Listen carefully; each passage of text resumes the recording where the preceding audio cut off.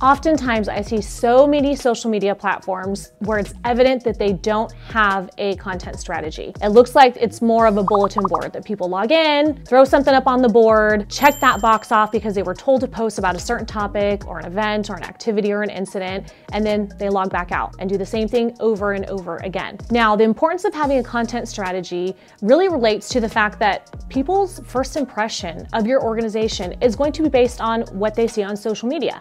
So on one side, if it's all rainbows and unicorns over at your agency or your organization, then you're not really showing some of the day-to-day hard work that people are doing. And also, if you're a public safety agency, showing the reality of what police work is, the dangers, and also the crime that happens in the community.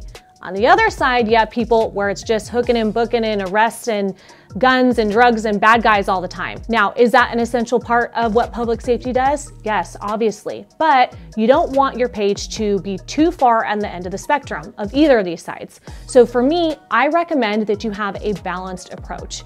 You want someone to look at your page, see what your organization is about, the faces and the people that work there, the good work that you do day, day, in and day out, the field work, and also that you're investing in your community. And of course, throwing in some recruitment because we all know that we're all hiring these days. So having a balanced approach will allow you to bring valuable content to your community, connect with them, and have an accurate depiction of what your organization is all about.